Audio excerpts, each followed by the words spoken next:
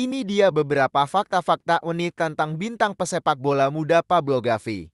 Fakta unik yang pertama, walau memiliki bakat dalam sepak bola, nyatanya Gassi bukan berasal dari keluarga pesepak bola. Ayahnya adalah seorang pekerja di industri hotel Los Palacios yang juga sempat bekerja sebagai penatu pekerja laundry di klub Real Betis. Sementara ibu Gavi adalah seorang ibu rumah tangga. Fakta menarik kedua adalah Gavi sering bertanding dengan kondisi tali sepatu yang terlepas.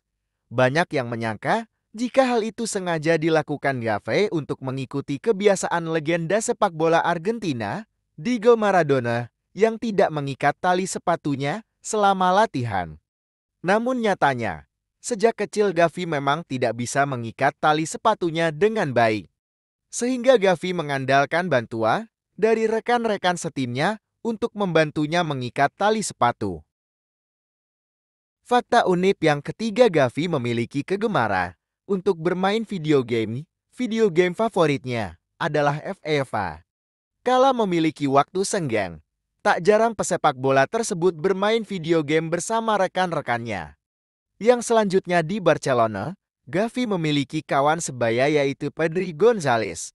Dengan usia yang hanya terpaut 2 tahun, menjadikan Gavi dan Pedri bersahabat akrab. Keduanya pun diketahui sering menghabiskan waktu bersama kala tak ada jadwal pertandingan. Fakta menarik yang terakhir Gavi berhasil menyumbangkan satu gol pada pertandingan Piala Dunia tahun 2023 melawan timnas Costa Rica. Pada pertandingan tersebut Gavi berusia 18 tahun 110 hari dan berhasil mencatatkan sejarah sebagai pencetak gol termuda kedua di Piala Dunia. Pencetak gol termuda di Piala Dunia dipegang oleh legenda timnas Brasil, yaitu Pele yang berhasil mencetak gol pada Piala Dunia tahun 1958 saat berusia 17 tahun 249 hari.